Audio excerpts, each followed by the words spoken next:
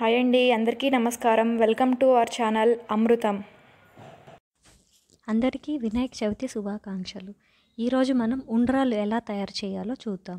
ముందుగా దానికి కావలసినటువంటి పదార్థాలు ఒక కప్పు బియ్యపు రవ్వ పావు కప్పు పచ్చిశనగపప్పు రెండు పచ్చిమిర్చి ముక్కలు జీలకర్ర మిరియాలు ఉప్పు.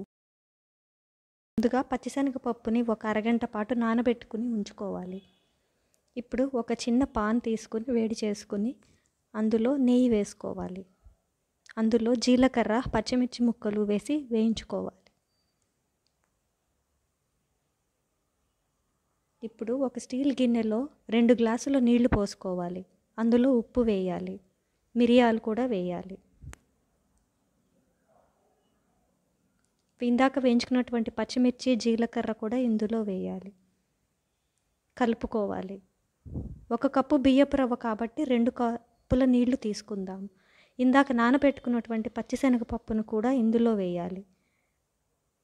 ఇప్పుడు బియ్యపు రవ్వను వేసి సన్నని మంట మీద ఒక నిమిషం పాటు కలుపుకోవాలి. ఇప్పుడు స్టవ్ ఆపేసి దీన్ని ఒక ప్రెషర్ కుక్కర్లో కొన్ని నీళ్ళు పోసుకొని ఈ గిన్నెని అందులో పెట్టి మూడు విజిల్స్ వచ్చే వరకు ఉడకనివ్వాలి.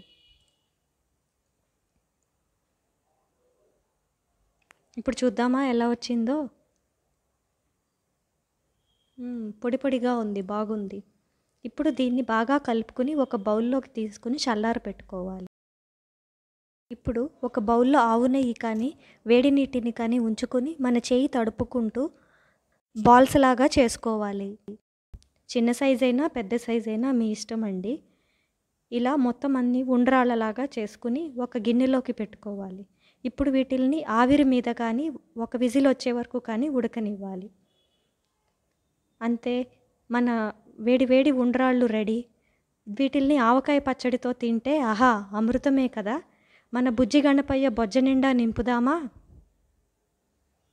ఇలాంటి మరికొన్ని కొత్త రెసిపీస్తో మీ ముందుకు వస్తాం. Thanks for watching please to subscribe our channel Amrutham